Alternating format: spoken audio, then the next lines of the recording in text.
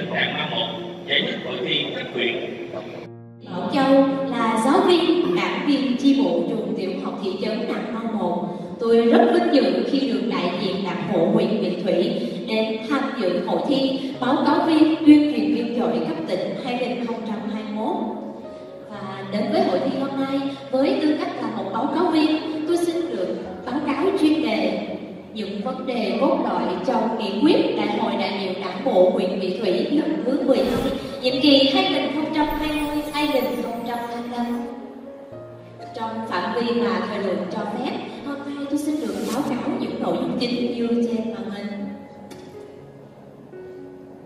Phần 1, tôi xin phép được giới thiệu sơ lược về Đại hội đại biểu Đảng bộ huyện Vị Thủy nhiệm kỳ 2020-2025. Tiếp theo, những chỉ tiêu mà huyện đã đạt được trong nhiệm kỳ vừa qua cũng như những chỉ tiêu chủ yếu trong nhiệm kỳ tới sẽ được tôi trình bày trong phần 2. Kính thưa ban giám khảo, Đại hội đại biểu Đảng bộ huyện Vị Thủy nhiệm kỳ 2020-2025 diễn ra trong thời điểm cả nước lập thành tích thi đua chào mừng Đại hội đảng các cấp tiến tới Đại hội toàn quốc lần thứ 13 của Đảng thì từ ngày 8 đến ngày 10 tháng 7 năm 2020 thì Đảng bộ huyện Vị Thủy đã chính tổ chức Đại hội đại biểu Đảng bộ huyện lần thứ 12 nhiệm kỳ 2020-2025 với sự tham dự của 299 đại biểu, đại diện cho 3.722 đảng viên trong toàn đảng bộ tham dự. Thì đây là sự kiện chính trị có ý nghĩa đặc biệt quan trọng đối với đảng bộ và nhân dân trong huyện với phương châm đoàn kết, dân chủ, kỷ cương, phát triển, thì đại hội đã đề ra mục tiêu tổng quát cho nhiệm kỳ tới. Đó chính là phát huy sức mạnh đại đoàn kết dân tộc, tập trung xây dựng hệ thống chính trị trong sạch, toàn diện, huy động mọi nguồn lực đầu tư phát triển kinh tế hạ tầng xã hội, nhất là nông nghiệp, nông dân, nông thôn, bảo vệ môi trường, thực hiện tốt chính sách an sinh, phúc lợi xã hội, giảm nghèo, bền vững. Phấn đấu đến năm 2025 trở thành huyện phát triển khá trong tỉnh thì huy tinh thần trách nhiệm cao của đại hội, thì các đại biểu tham dự đại hội đã tập trung trí tuệ, nghiên cứu, thảo luận và đánh giá lại những kết quả mà huyện đã đạt được trong nhiệm kỳ vừa qua, cũng như đánh giá lại những chỉ tiêu mà huyện đã đạt được trong nhiệm kỳ qua, từ đó đưa ra phương hướng nhiệm vụ, giải pháp cho nhiệm kỳ tới và đại hội cũng đã xác định được ờ, những những chỉ tiêu cụ thể cho nhiệm kỳ tới. Sau đây xin kính mời các đồng chí đến với phần hai, những chỉ tiêu mà huyện đã đạt được trong nhiệm kỳ vừa qua cũng như những chỉ tiêu chủ yếu trong nhiệm kỳ tới. Kính thưa ban giám khảo, nghị quyết đại hội đại biểu đảng bộ huyện Vị Thủy nhiệm kỳ 2015-2020 đã đề ra 16 chỉ tiêu chủ yếu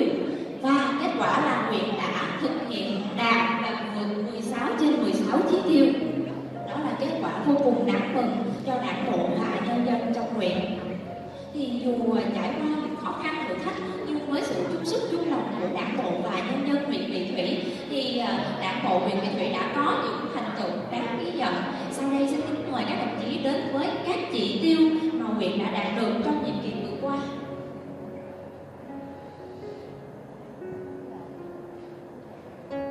Đầu tiên là chỉ tiêu số 1 chỉ tiêu về giá trị sản xuất. Như các đồng chí nhìn thấy trên màn hình biểu đồ hình cột thể hiện giá trị sản xuất của cả ba khu vực. Khu vực 1 tương ứng với lĩnh vực nông nghiệp, khu vực 2 tương ứng với lĩnh vực công nghiệp xây dựng, khu vực 3 là thương mại và dịch vụ. Thì trong nhiệm kỳ vừa qua, giá trị sản xuất của cả ba khu vực thì huyện Vị Thủy đều thực hiện đạt và vượt so với chỉ tiêu. Còn màu xanh là cột chỉ tiêu còn màu cam là cột một kết quả huyện đã thực hiện được, và cột màu xám là cột chỉ tiêu cho nhiệm kỳ tới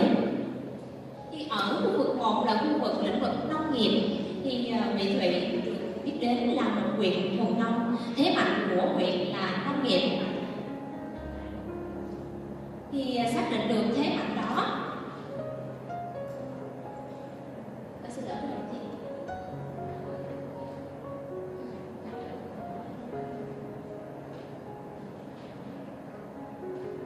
Vị Thủy được biết đến là một huyện ngành nông nghiệp thì thế mạnh của huyện á, là à, trồng lúa. Thì ờ, Vị Thủy tự hào là đơn vị đầu tiên của tỉnh. Thí nghiệm thành công mô hình sản xuất lúa thông minh điển hình như là thương hiệu gạo sạch vị thủy được ờ, phân hạng là ô cốp 4 sao của tỉnh. Thì ngoài thương hiệu gạo sạch vị thủy ra huyện còn có các sản phẩm đạt ô cốp khác như là dưa hấu xã lực thuận tây xoài đất hồng xã vĩnh chu, giỏ bán huyện của hợp tác xã việt thắng và một chuối xiêm ở hợp tác xã an định được thế mạnh của huyện, thì ờ, đại hội cũng đã đề ra chỉ tiêu phổ biến chủ yếu cho nhiệm kỳ tới ở lĩnh vực nông nghiệp là 10.544 tỷ đồng. Riêng ở khu vực 2 và khu vực 3 là lĩnh vực công nghiệp, xây dựng và thương mại dịch vụ thì có bước chuyển biến tích cực. Thì ờ, tại đại hội cũng đã đề ra chỉ tiêu cho nhiệm kỳ tới ở lĩnh vực công nghiệp thương mại, công nghiệp xây dựng là 4.084 tỷ đồng. Riêng ở lĩnh vực thương mại thì chỉ tiêu cho nhiệm kỳ tới là 5.112 tỷ đồng tiếp theo, xin mời các đồng chí đến với chỉ tiêu số 2 là chỉ tiêu về chuyển dịch cơ cấu kinh tế. Thì khi nhìn lại ờ, những ngày đầu mới thành lập huyện, thì tỷ trọng nông nghiệp của huyện chiếm tới 60% trong cơ cấu kinh tế của huyện. Thì giờ đây, cơ cấu kinh tế của huyện đã có sự chuyển biến tích cực, tức là huyện đã thực hiện chuyển đổi là giảm tỷ trọng nông nghiệp, tăng tỷ trọng công nghiệp xây dựng và thương mại dịch vụ như các đồng chí nhìn thấy trên màn hình là biểu hình tròn thể hiện chuyển dịch cơ cấu kinh tế của nhiệm kỳ qua và chỉ tiêu cho nhiệm kỳ tới. Thì phần màu xanh là tỷ trọng nông nghiệp tỷ trọng nông nghiệp trong nhiệm kỳ qua là giảm còn 55,01% từ kết quả đạt được thì huyện cũng đã đề ra chỉ tiêu cho nhiệm kỳ tới là 49,35% riêng công nghiệp và công nghiệp riêng phần công nghiệp và xây dựng và thương mại dịch vụ thì sẽ tăng từ 19,41% cho thương công nghiệp xây dựng tăng lên 22,09% riêng ở lĩnh vực thương mại dịch vụ thì sẽ tăng từ 25,58% lên đến 28,56% cho lĩnh vực thương mại dịch vụ. Thì để thực hiện được chỉ tiêu này thì à, huyện cũng sẽ uh, tiếp tục thực hiện uh, đầu tư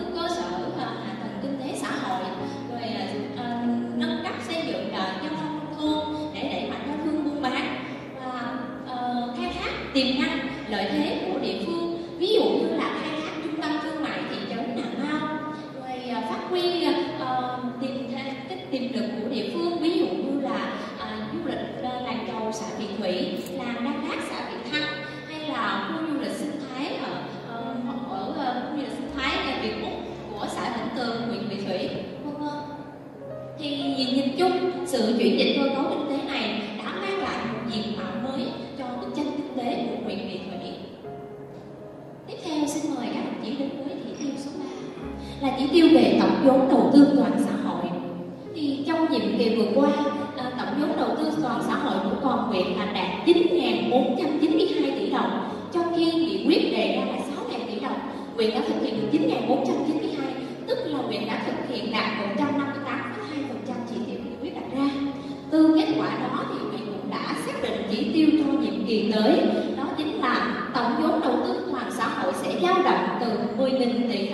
11 tỷ đồng trong nhiệm kỳ tới.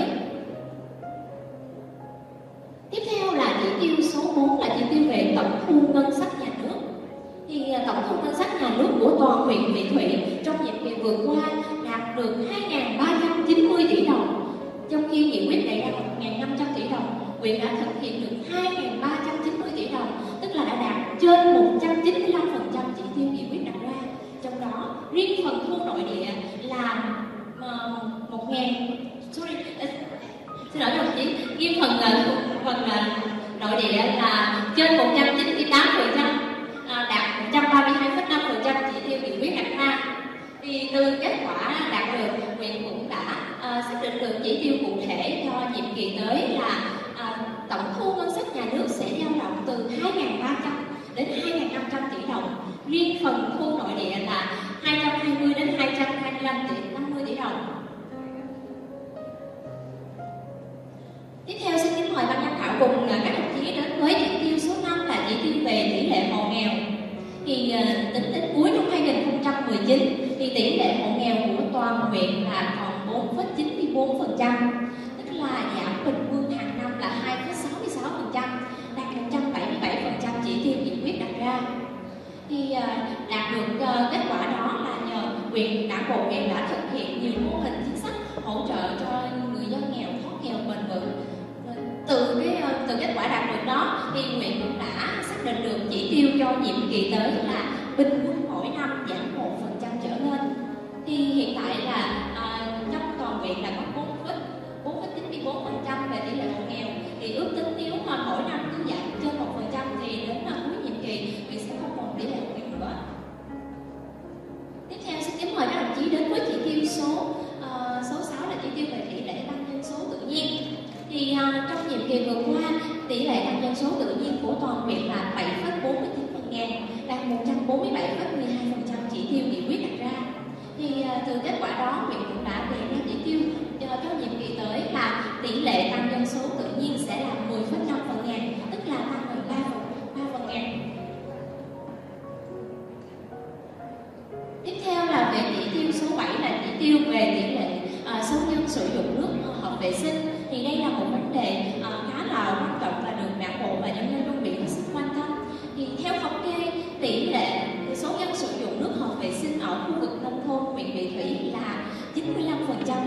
khi nhiệm kỳ vừa qua huyện đã đề ra chỉ tiêu là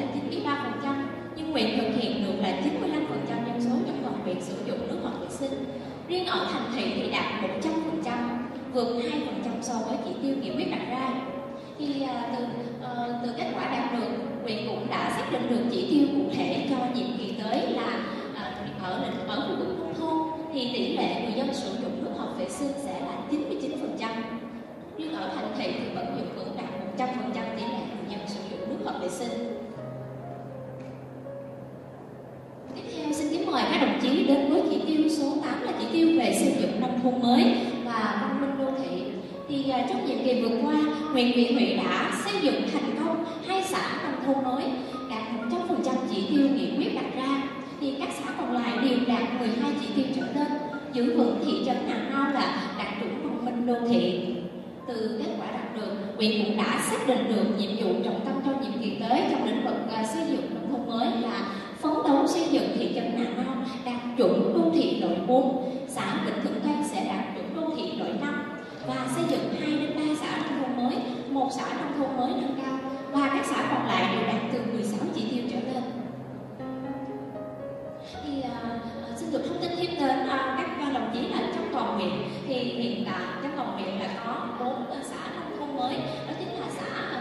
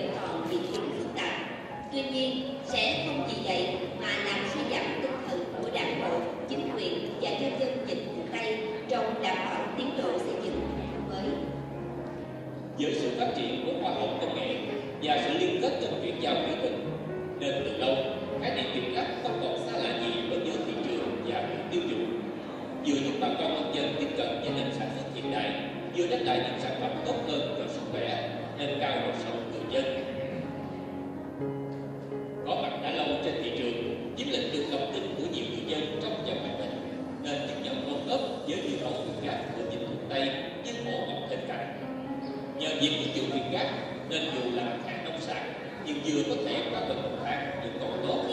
nên không thể phủ nhận việc đây là một sản phẩm hoàn toàn có tiềm năng đi xa dừng đến những thị trường không chỉ trong nước và còn cả thị trường quốc tế những con đường trục ấp liên ấp được nhựa qua gần 80%. Nhiều con đường cây cầu khang trang có bề rộng gần 5 mét, thuận tiện cho việc đi lại và giao thương của người dân. 100% hộ dân được dùng điện an toàn từ lưới điện quốc gia, trên 90% dân số tham gia bảo hiểm y tế hàng năm. Hiện 93% dân số trong độ tuổi lao động của xã có việc làm. Trong các năm vừa qua, Hội chữ thập đỏ tỉnh đã làm cầu nối với các đơn vị cùng nguồn nỗ lực của Ủy ban Mặt trận Tổ quốc Việt Nam huyện khởi công cầu kinh xẻo giá tổng kinh phí 290 triệu đồng trước sự vui mừng của tất cả người dân. Bởi khi hoàn thành sẽ rút ngắn đoạn đường đến trung tâm hành chính thành phố Vị Thanh chỉ còn 5 cây số. Mà thực hiện quyết liệt các chỉ tiêu về nông thôn mới thì xã Vĩnh Thượng Tây đã ờ, đạt được những thành tựu đáng ghi nhận, tạo được ờ, sự phấn khởi cho đời sống người dân ở xã Vĩnh Thượng Tây. Tiếp theo xin kính mời các đồng chí đến với chỉ tiêu số 9 là chỉ tiêu về tỷ lệ lao động qua đào tạo. Thì ờ, trong nhiệm kỳ qua, tỷ lệ lao động qua đào tạo ở huyện Nhị Thủy là chiếm 42%, đạt 116,67% chỉ tiêu nghị quyết đặt ra. Thì phương hướng cho nhiệm kỳ tới ở chỉ tiêu này là tỷ lệ lao động qua đào tạo đến năm 2025 sẽ đạt 50%, số lao động qua đào tạo được việc làm trong 5 năm là 10.000 lao động. Tiếp theo là chỉ tiêu số 10 là chỉ tiêu về tỷ lệ người dân sử dụng bảo hiểm y tế. Thì trong nhiệm kỳ vừa qua ờ, chỉ tiêu cho cho chỉ tiêu này là 80 phần trăm ờ, người dân sử dụng hoặc ờ, sử dụng bảo bảo hiểm y tế thì huyện đã thực hiện được là 87,48 phần trăm tức là đạt một trên 109 phần trăm chỉ tiêu nghị quyết đặt ra thì phương hướng chỉ tiêu cho nhiệm kỳ tới là tỷ lệ người dân tham gia bảo hiểm y tế sẽ đạt trên 95 phần trăm Tiếp theo là chỉ, chỉ tiêu số 11 là chỉ tiêu trong lĩnh vực y tế. Thì số trạm y tế đạt chuẩn quốc gia của huyện là 10 trạm, đạt 125% so với chỉ tiêu nghị quyết đặt ra. Thì tỷ lệ trẻ em suy dinh dưỡng dưới 10 dưới 5 tuổi thì sẽ giảm còn đã giảm còn 10,6 đã vượt 2,1 2,16% chỉ tiêu nghị quyết. Số bác sĩ trên dạng dân thì đã được 5,2 bác sĩ trên dạng dân thì số giường bệnh trên dạng dân là 18 giường bệnh trên dạng dân đạt 120 phần trăm chỉ tiêu nghị quyết. Thì à, từ kết quả đạt được, huyện cũng đã xác định được chỉ tiêu cho nhiệm kỳ tới là vẫn giữ vững 100% xã đạt chuẩn quốc gia về y tế, tỷ lệ trẻ suy dinh dưỡng giảm dưới 10,57% và số bác sĩ là sẽ tăng từ 5,2 bác sĩ lên 6 bác sĩ trên dạng dân và số giường bệnh là 18 giường bệnh trên dạng dân. Tiếp theo xin mời các đồng chí đến với chỉ tiêu số 12 là chỉ tiêu về uh, số trường đặc chuẩn quốc gia. Thì uh, trong nhiệm kỳ vừa qua, nhiệm kỳ 2015-2020 thì huyện Vị Thủy đã uh, thống kê được là uh, trong khu toàn huyện có 36 trên 46 trường đạt chuẩn quốc gia, đạt uh, tỷ lệ là 78,26% tổng số trường và đạt 111,8% chỉ tiêu nghị quyết đặt ra thì à, từ kết quả đó thì huyện cũng đã xác định à, chỉ tiêu cho nhiệm kỳ tới là số trường đạt chuẩn quốc gia là đạt trên 85%. thì à, à, xin thông tin báo cáo thêm với các đồng chí là trong tháng 8 năm 2021 thì à, thực hiện à, đề án à, sắp nhập trường với các điểm lẻ thì trường tiểu học thị trấn nặng Mão 1 đã được sắp nhập với trường tiểu học thị trấn nặng Mão 2 thành trường tiểu học thị trấn thì uh, ờ, trong nhiệm kỳ qua trường cũng đã đạt được những thành tựu nổi bật như là cuối tháng cuối năm tháng 7 năm 2020 thì trường đã được uh, sở giáo dục đào tạo uh, kiểm định là đạt chất lượng mức độ 3 thì đã được uh, ủy ban nhân tỉnh là công nhận trường đạt chuẩn quốc gia mức độ 2 thì trường đã được uh, nâng cấp sử dụng khang trang hơn và uh, đội ngũ cán bộ giáo viên thì cũng đạt được chuẩn hóa để đáp ứng nhu cầu đổi mới giáo dục Tiếp theo xin kính mời các đồng chí đến với chỉ tiêu số 13 và chỉ tiêu số 14 là về công tác tuyển chọn đội công nhân nhập ngũ. Thì uh, trong nhiệm kỳ vừa qua, huyện đã thực hiện được đạt 100% về số vụ phạm pháp hình sự và tai nạn giao thông đã giảm đến mức uh, giảm thiểu thấp nhất có thể. Thì từ đó thì huyện cũng đã đề ra chỉ tiêu cụ thể cho nhiệm kỳ tới là chọn và gọi công dân nhập ngũ đạt 100%,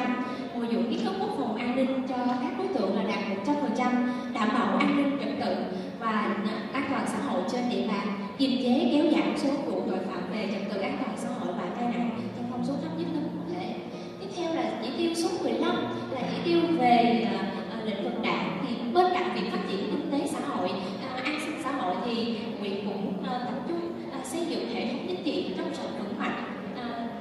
cụ thể như là số tổ chức cơ sở đảng trong sạch vững mạnh của huyện đó là 9 50% đạt 100% chỉ tiêu nghị quyết. Thì ờ, số đảng viên hoàn thành tốt nhiệm vụ trong nhiệm kỳ vừa qua là đạt 91,1% đạt vượt 1,1% chỉ tiêu nghị quyết đặt ra. Thì trong nhiệm kỳ vừa qua huyện Vị Thủy cũng đã kết nạp thêm 704 đảng viên mới đạt 100% chỉ tiêu nghị quyết đặt ra. Thì ờ, từ ờ, kết quả đạt được huyện cũng đã xác định chỉ tiêu trong nhiệm kỳ tới là số tổ chức cơ sở đảng và số đảng viên hoàn thành tốt nhiệm vụ là đạt trên 85%, không có tổ chức đảng không hoàn thành tốt nhiệm vụ và kết nạp thêm 200 đến 250 đảng viên mới. Và chỉ tiêu cuối cùng là chỉ tiêu về à, số hộ có đoàn viên hội viên. Thì trong nhiệm kỳ vừa qua số hộ có đoàn viên hội viên là 814,8% à, đạt 101% phần 101,85% chỉ tiêu nghị quyết đặt ra thì à, số tổ chức có cơ, cơ sở của đoàn thể chính trị xã hội vững mạnh là đạt 100% chỉ tiêu nghị quyết thì từ kết quả đạt được thì huyện cũng đã à, xác định chỉ tiêu cho nhiệm kỳ tới là phấn đấu đến năm 2025 số hộ đoàn viên hội viên đạt 82% và số tổ chức cơ sở có đoàn thể chính trị xã hội vững mạnh là trên 85% thì vừa vừa rồi tôi đã trình bày xong 16 chỉ tiêu mà huyện à, huyện đã đạt được trong nhiệm kỳ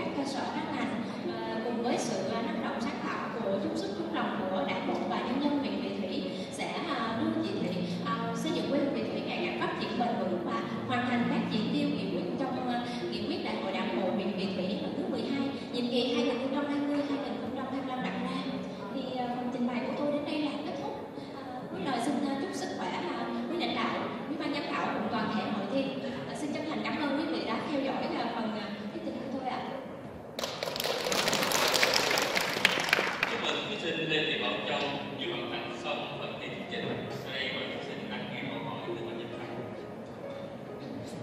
trước hết thì ờ, chúc mừng thí sinh ờ, đã hoàn thành cái phần thi thuyết trình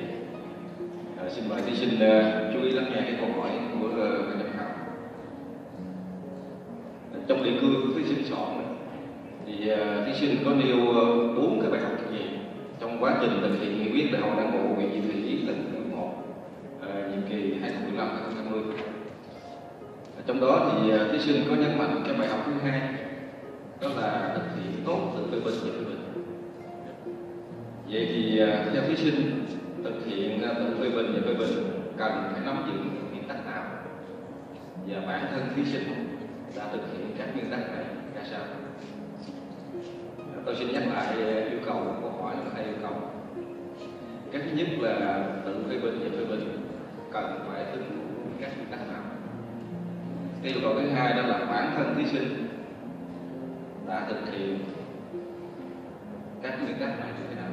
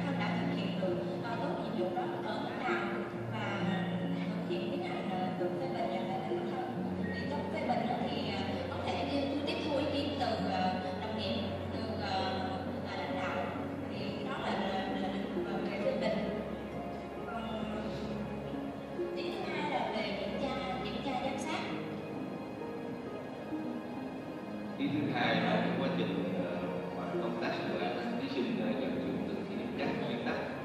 Từ bình thường như thế này dạ. à, thì ờ, để ờ, tự phê bình nhận ra bản thân thì bản thân đã đề ra cái kế hoạch, ví dụ như thực hiện mục tiêu nhiệm vụ đó, thì kế hoạch đề ra là bản thân đã thực hiện được tới đâu thực hiện được ở mức nào. Và từ đó cái việc mà phê bình